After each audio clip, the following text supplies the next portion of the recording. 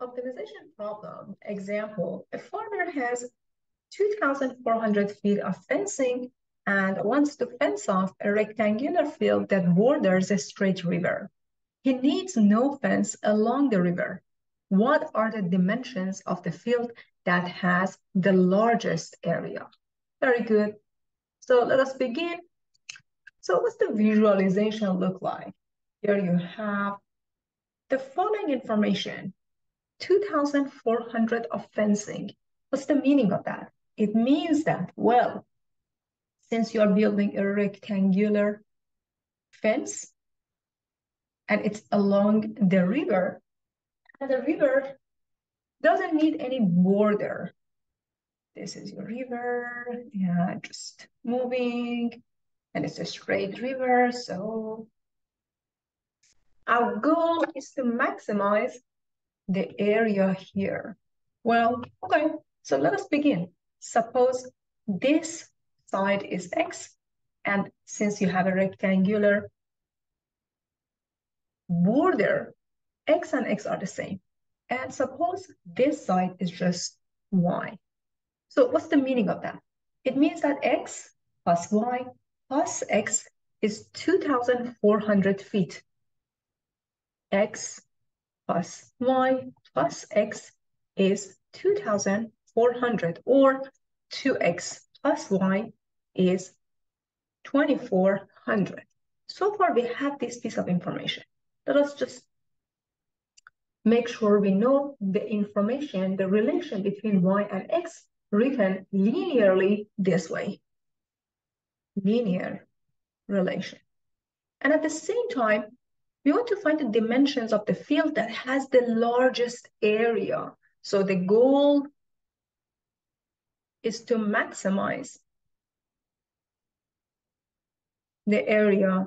But what is the area of a rectangular object in this scenario?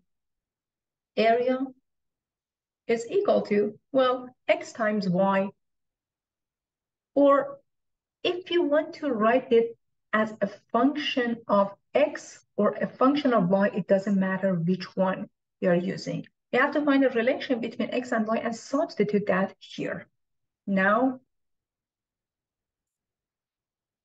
we need to write the area in terms of one variable. This is the thing that you need to make sure that you're focusing on. Well, one variable, you have a linear relation between x and y, so let us use it. You know that 2x plus y is 2,400, or y is 2,400 minus 2x. So now substitute that in the area formula. So area as a function of x can be written as x times y, but y is 2 or double zeros minus 2x. So what are we trying to do? We're trying to maximize this function, or we're trying to use the derivative to find the critical point and find the x value that gives us the maximum function, maximum of this function. Now use derivatives to find the maximum value. Okay, so let's do that. Remember that this is my function. I can write it as 2400x minus 2x squared to find critical points. We need to take the derivative of this function and set it equal to zero. But the derivative of this function is 2400 minus 4x. Set the derivative equal to zero. So 2400 minus 4x is equal to zero. It means that 2400 is equal to 4x, or if we divide both sides by 4, x becomes 600. Well, well, x is 600, and then we can easily find the y value as well, all right? So since y is 2400 minus 2x, y becomes 2400 minus 2 times 600, or 2400 minus 1200, which is 1200. Just a quick note here for you. Note that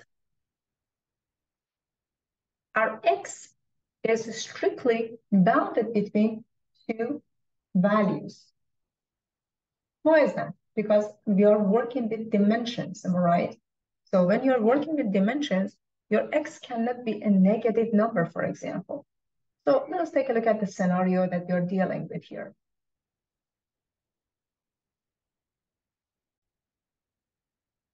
Between 0 and 1200. So it means that we have some values that x is restricted to.